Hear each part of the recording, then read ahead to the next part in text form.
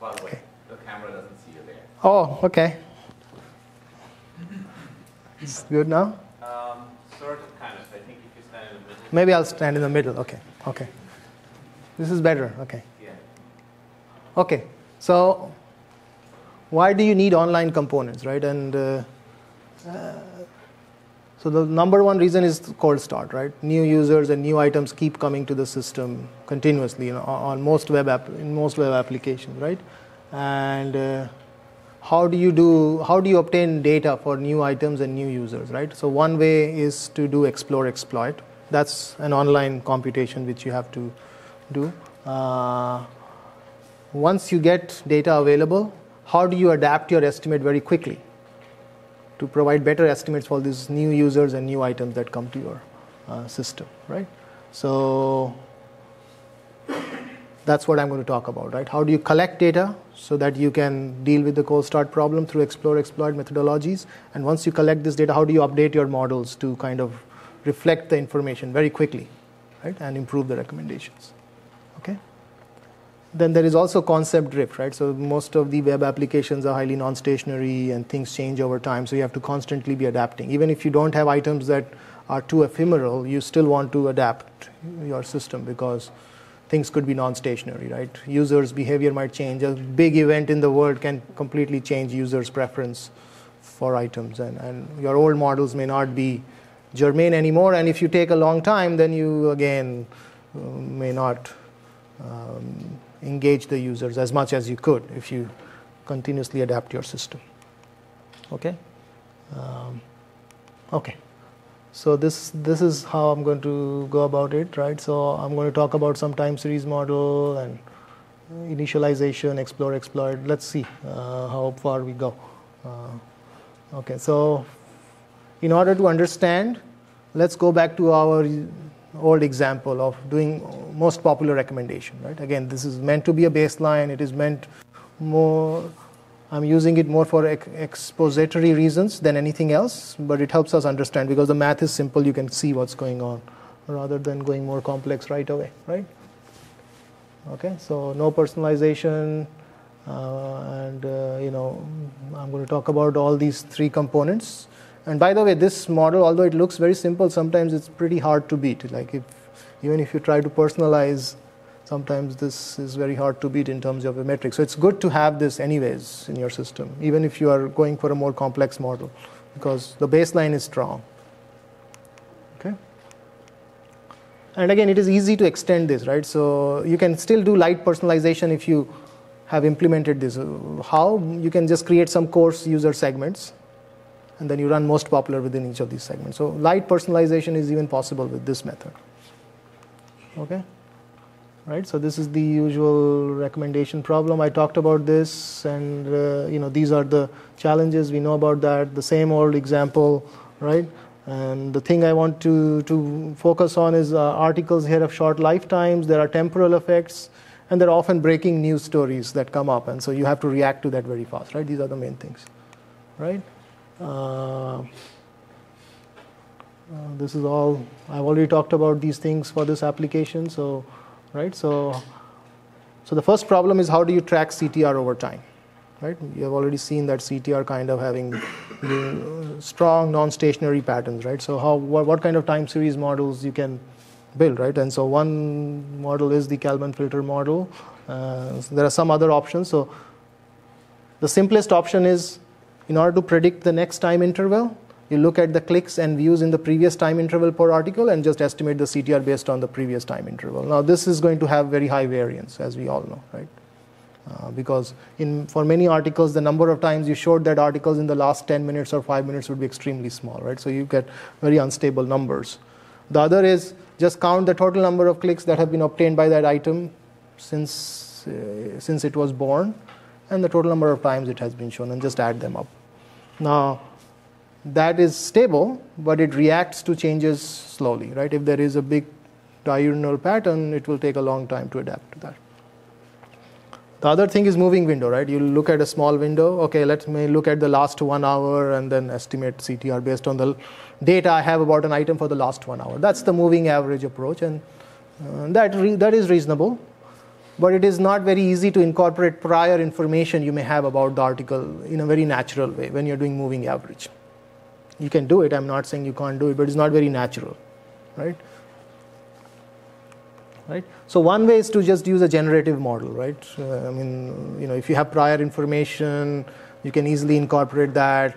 It does what you get out of moving average. It kind of gives more weight to recent data and less weight to past data, except that the uh, decay function is slightly different, but it st- still does the same thing. So you kind of get the best of both worlds. You can incorporate prior information, and you can also do what you want to do, which is weigh the recent data more than the past data.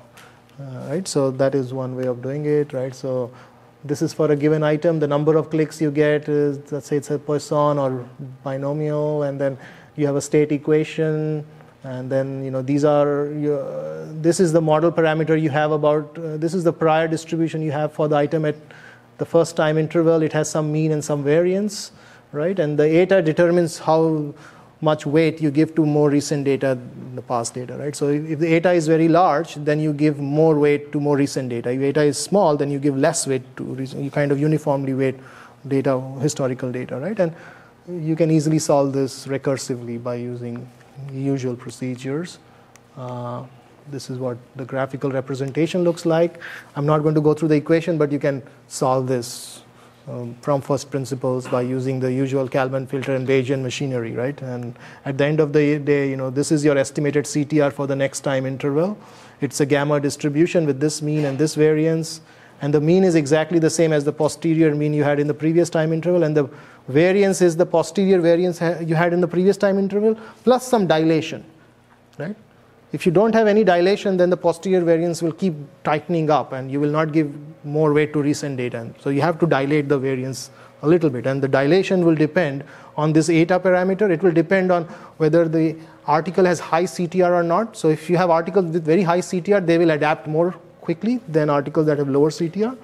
And of course, the prior variance, right? So this is an example like so this is the model that was fitted by using this previous data. So one thing i want you to see here is articles that have higher ctr are more adaptive than articles that have lower ctr and that's because of the multiplicative state equation. When you have a multiplicative state equation the the window that is used to weight recent data changes right? Articles that tend to have more clicks will use smaller time window. Articles that have fewer clicks will use a larger time window that's what multiplicative state equation does for you. If you have an additive state equation, then that would not happen. Everybody will have the same kind of weighting.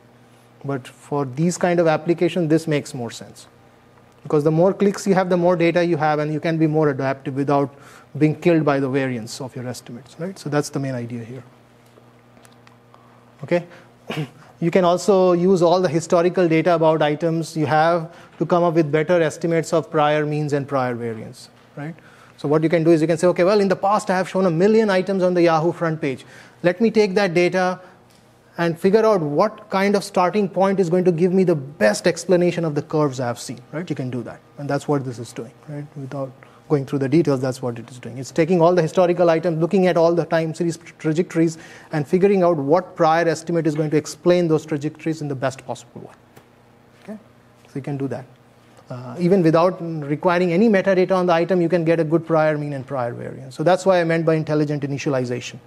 But just using the historical item data, you can come up with a better way to start your uh, estimates for new items that are going to be seen in the system. So this is not absolute cold start. Absolute cold start is some product manager launched a product today and you have not seen this at all in your life before. Right? This is the Yahoo front page has been running since 1995, so you have a lot of data, right? So this is not absolute cold start. Okay. Okay, so now how do you do explore exploit, right? So before I go into the solution, let me first describe the problem, right? And then, you know, we will go as many, we will do as many solutions as we can in the talk, but I want to make sure you know exactly what the problem is, right? Mathematically, so that you can think about it, right? So you, are here at any given point in time, you are in interval t. Let's say each interval is of 10 minutes length, right? So you are here, you have k different items, and you want to decide what fraction of page views should go to item 1, what fraction of page views should go to item 2, and so on and so forth in the next time interval. Okay? So this is the design you want, right? You have k items, let's say you have 100 items. You want to decide in the next time interval, should I give 2% of page views to item 1 or should I give 3% to item 1? How, how much, right? And if these x, so these x's are your design parameters, right? You're trying to figure out what is the best fractional allocation scheme you can come up with in the next time interval to improve the overall clicks of the system in the long term. And this is again uh, ignoring personalization and all that stuff, right? I've already told you that, right? So this is a design problem. And you have all the data you have seen so far to kind of make this decision. So what's the best you can do? So if you are myopic, you will say, well, let me look at the empirical CTR of all articles. The one that has the highest CTR gets 100% of the page views in the next interval. Everything else gets zero. That's a myopic solution, greedy solution, or you can call it the greedy solution. It does not look forward. It just looks at the instantaneous CTR and makes a decision based on that. And in the next time interval, that the article that has the highest empirical CTR gets 100% of the page views. And then you again recompute your empirical CTRs and do the same thing for the next time interval, right? So that's, that's a design. It's not the most efficient because it's not going to give you the best solution, as we are going to see. Okay? So is the problem definition clear? Okay. Right, so, okay. Yeah, so in order to come up with a solution, you should not look at what has just transpired. You should also try to look ahead in the future. If I take a particular action in the next time interval, what impact is it going to have in the future? Right, that's the key here. That's why the computation becomes difficult, right? If I show you to, if I dedicate 2% of the page views to article 1, article 2, article 3, and then the rest to article 5, I'm going to get some data, hypothetical data out of that.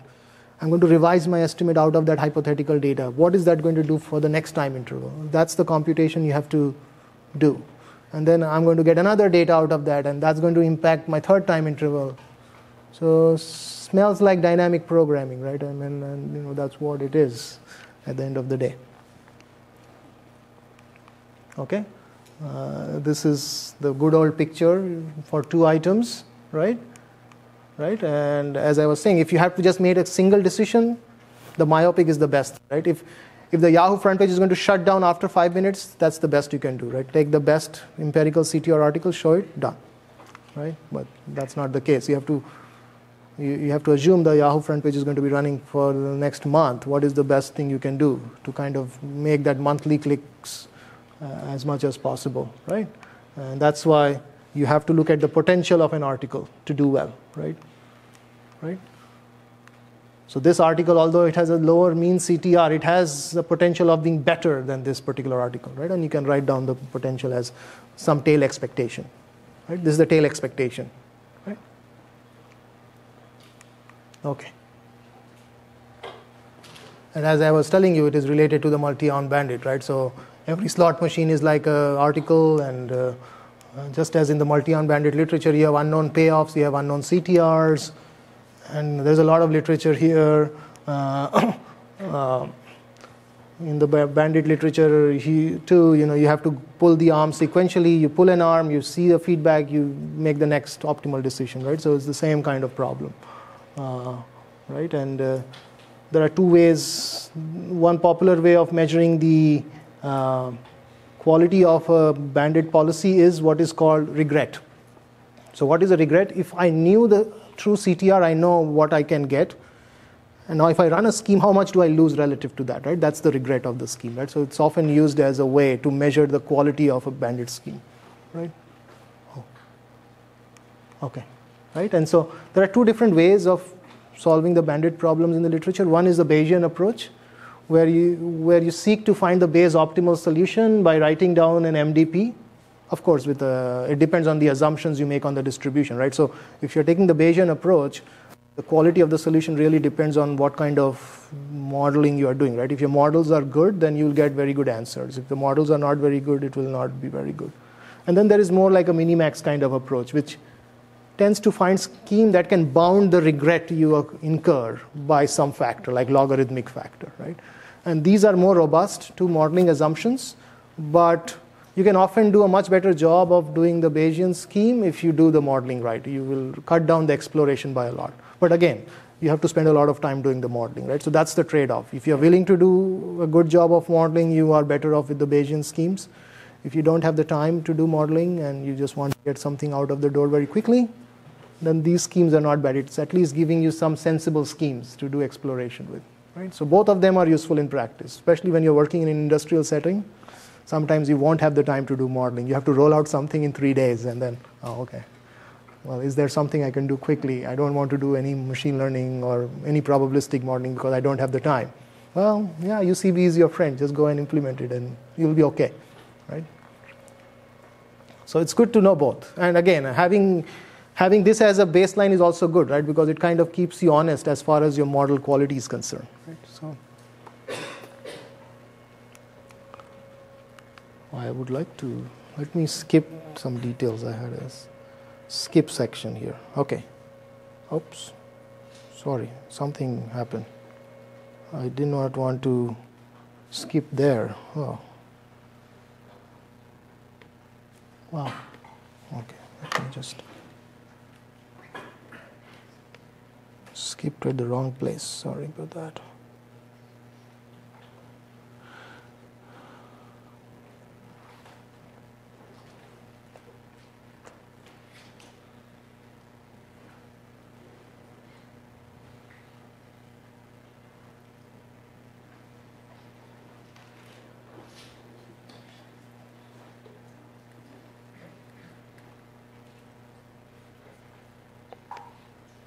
Okay, sorry about that.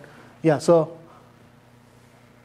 I'm not going to go in detail with this slide, but this is how you can write the model as an MDP, right? So if you're interested in the Bayesian approach, then you can write it as an MDP, right? And so I'm going to go through just this last thing here. So this is the policy or the explore exploit scheme you want to construct. And so this is saying, okay, this is the value of my policy after t, t time intervals, right? I start with the initial state theta 0 the state could be the number of clicks and number of views you have for each article, right? So, and this is the value. And so this, what will be this value? Well, if I start with this state, uh, and if I use this explore exploit policy, I'm going to move to this state after one time interval, right?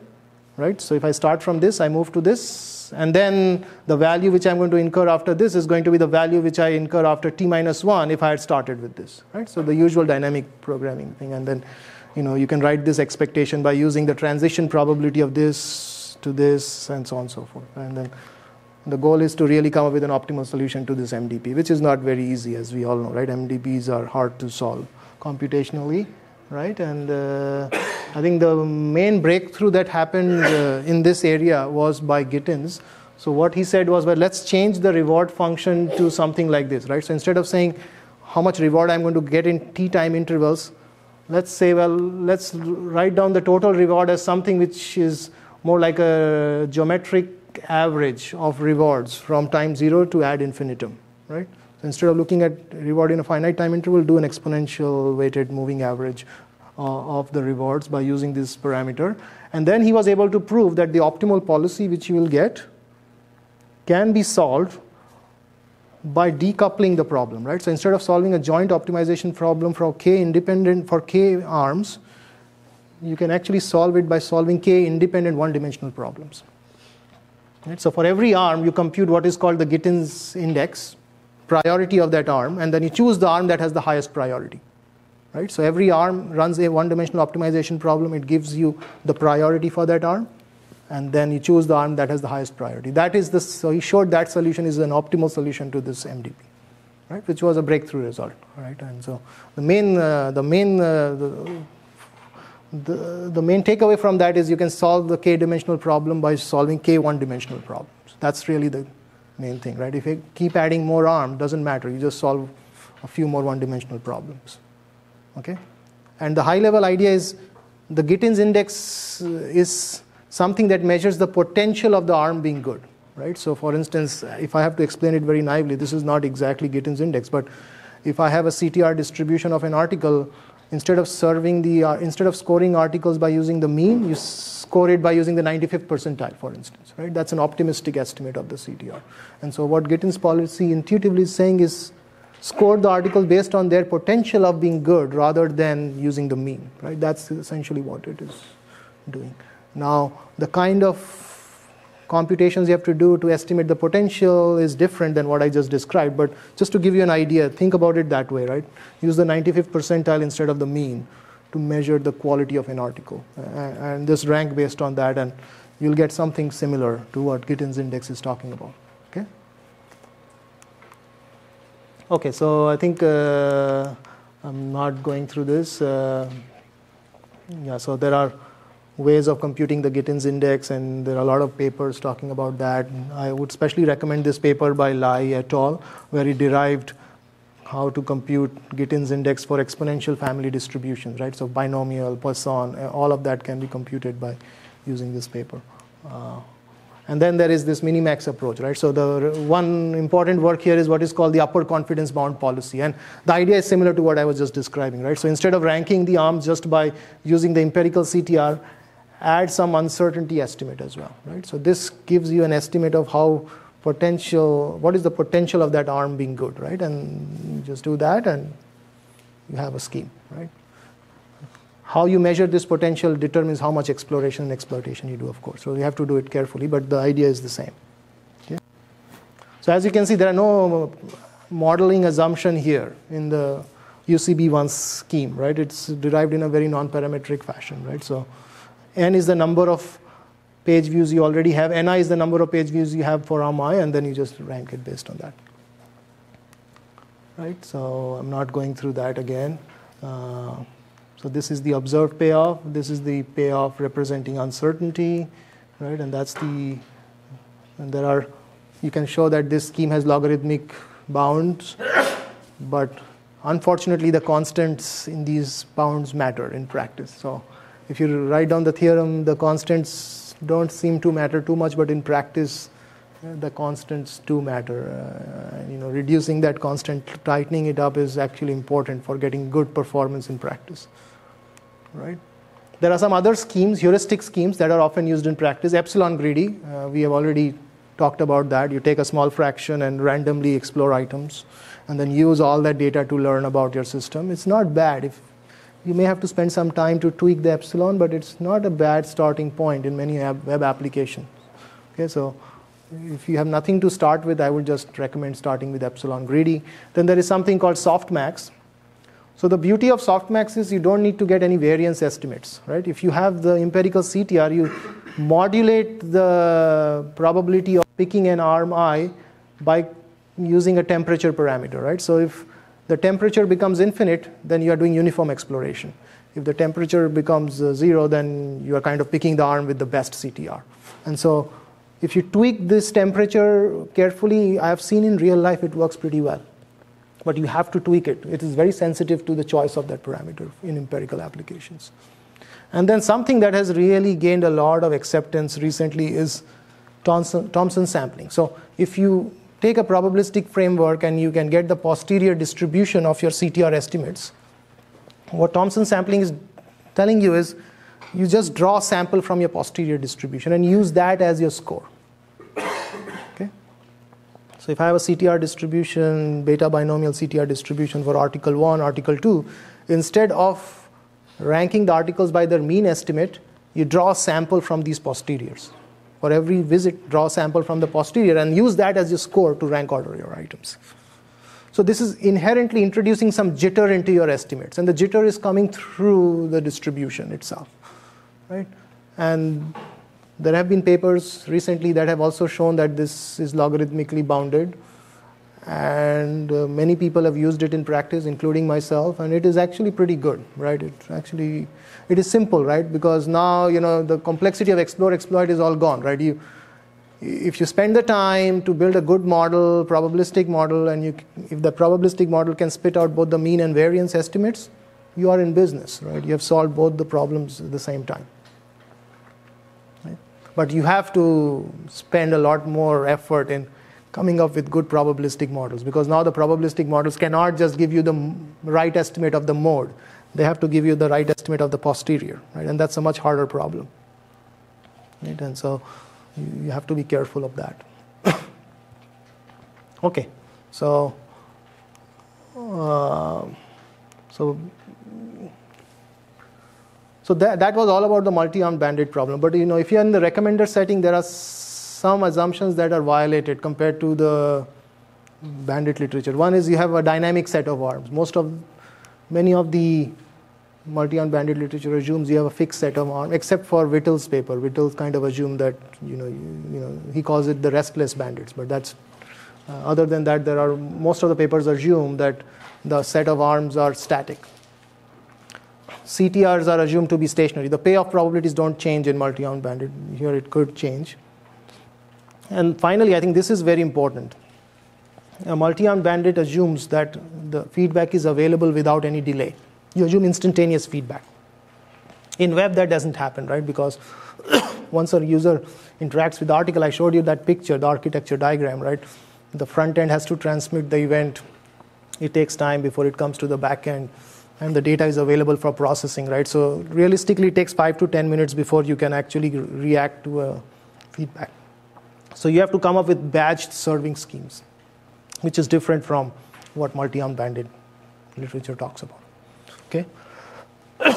so as a practical consideration, I think using Thompson sampling, softmax, these are epsilon greedy, they are very good practical solutions and what you use would depend on how much work you have done right so if not done any work in terms of modeling um, by modeling i mean both the mean and variance not just the mean then you know it's good to go with epsilon greedy first and then you know once you collect some randomized data from your system so that you can do offline evaluation you start doing softmax and you know the offline data will help you tweak the softmax parameters and then once you have done softmax hopefully by that time you have built a probabilistic model, then you can start doing Thompson sampling. So I will go in that order. Okay. Okay.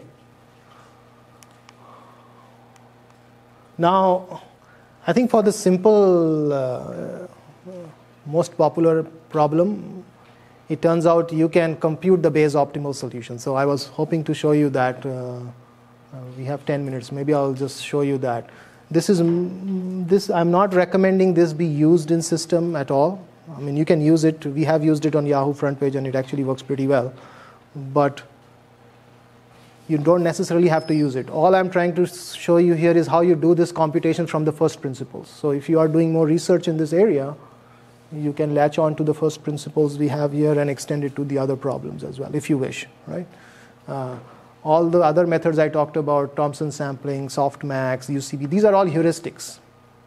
Right? They are not Bayes optimal in any sense at all. Right? But computing Bayes optimal for all the personalized recommendation is a hard problem. So I'm going to show you how we do it for the most popular recommendation. We have not solved it for personalized recommendation. And hopefully you can do more research and use the ideas to generalize it to other problems as well. Right? So, so that's the thing. So uh, the same view now at T0 you have N0 views, at T1 you will have N1 views, right? So N1 page views now, and N0 here, right? Let's try to do it for two articles, right? So item P is the one that has uncertain CTR. Item Q has been shown for a long time, and the CTR of that is exactly known, no, no, no uncertainty, right? So the CTR of item 2 is Q0 at the moment, and Q1 for the interval where you want to make a recommendation. Okay. Uh, so this is what the picture looks like, the, the good old picture, right? And P0, Q0 is for the current time interval now. P1, Q1 is the hypothetical CTR which you're going to get in the next time interval, okay? And again, that will depend on how much page views you allocate to these things, right? That is important, right? So that's the problem. What fraction of the current page views where you have to make a decision needs to be allocated to item P that's the design parameter you need to determine for this two item problem, right? What is the value of x? What is the optimum value of x for you? If you are just looking ahead two time intervals, right? What I do now, I want to see what I do now would impact the current interval and the next one, only two. In general, we want to do k, but let's say we do only two. What is the solution to this problem, right? And so in order to determine x, we have to estimate what will happen in the future. Once I give x page views to this item now, what repercussions will it have for the next time interval, and then do a calculation, right? So that's why uh, you need to do some more computation. So suppose I show a certain number of page views, right? Let's say I show X percent of N0 page views to item P, right? That's going to give me C hypothetical clicks, right?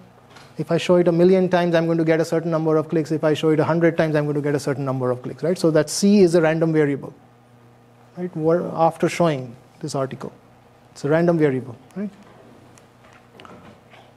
Once I get, once I observe the hypothetical number of clicks, which I'm going to get by showing this article, I can update the posterior distribution of that article, right? Based on the hypothetical clicks, right? So both if, if I know X and if I know what number of clicks I'm going to get, I'm going, I can uh, update the posterior distribution from P0 to P1, right? And then if my game ends at the next time interval, I'm going to allocate all the page views to item P in the subsequent time interval if that posterior mean is bigger than Q1. Uh, you know, the Q1 is the CTR of the uncertain certain article in the next time interval. If it is less than Q1, then I'm not going to give any page views to that article, right? Okay? Because if the game is going to end in the next time interval, in the next time interval, you got to be myopic. Give all the page views to the article which is the best, and nothing to the other one, right? So that's that's what happens. Okay. Right, and this P1, the posterior mean which you are going to get for the uncertain article, is a function of x, the number of page views you give to that article, and also the hypothetical clicks you're going to get in the next time interval. Right, it's a function of both x and c. Okay.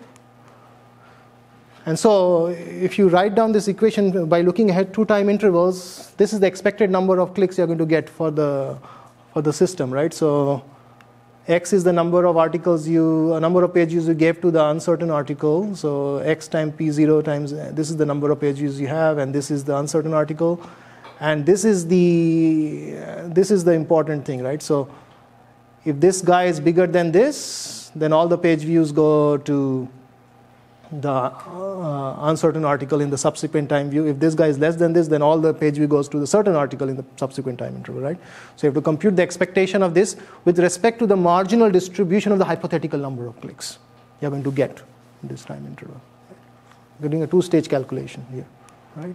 And uh, you know, if you solve it, so this is what this is the number of clicks you would have obtained if you had shown only the certain articles in both the time intervals, right? After rearranging the terms. So this is this is the amount this is the gain in clicks you get by doing this uh, explore exploit scheme, right? And your goal is to find the value of x that is going to maximize the gain you get, additional gain you get over showing the my over following the myopic scheme, right? So that's the well-defined optimization problem and uh, you can solve it. I'm not going to go through the solution. You can write down the gain function and you can solve it and you can get an optimal answer for this, right? So this is how the scheme, uh, you can actually do this computation from the first principle and get an optimal solution, right? You don't have to, and the reason you can't just appeal to something in the literature and apply it uh, as it is is because the assumptions are violated. That's why you have to start from the first principle. Okay? Right? And uh, okay, so I'm not going to go through the quiz and all. Uh, then you can generalize this to k items as well by using some Lagrange relaxation technique. I think most of the material is borrowed from Whittle's paper in 1980s. He also did some similar computation for restless bandits, right? And uh, from two intervals, you can generalize it to multiple intervals as well. Uh, you can generalize it to non-stationary CTRs as well. Doesn't matter what your distribution is. As long as you have a probabilistic model that can give you the posterior distribution, you can just plug it in and it will all work in this framework. Okay? Then we ran some simulation with this scheme and compared it with the other schemes, and obviously it is better because uh, otherwise I won't be discussing this.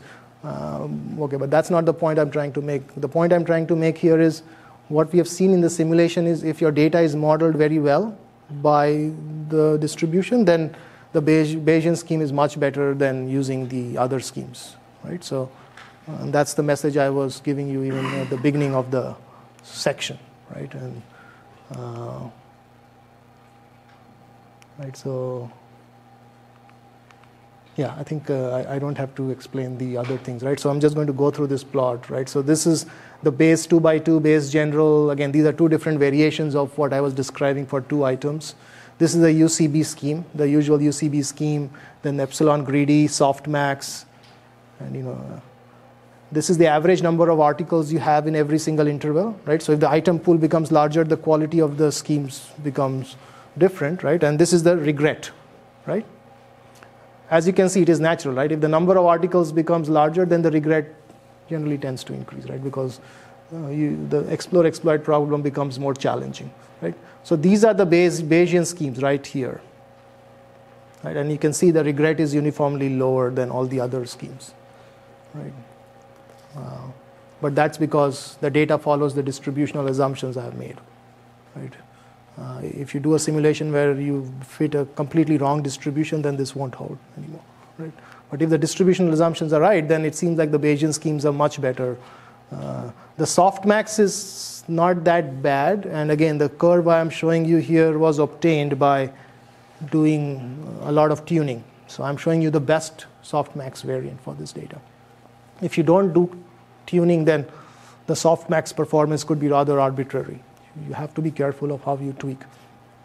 The UCB scheme tends to do uh, more exploration in general. If you use the UCB as it is, the variance estimates are rather generous because it's based on non-parametric Chernoff Hoeffding bounds, so it tends to over-explore. Uh, but that's the problem.